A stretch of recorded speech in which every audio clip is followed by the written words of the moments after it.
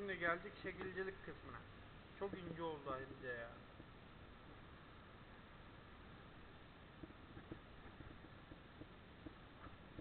Yok abi bu iş böyle olmaz ya. Yeterli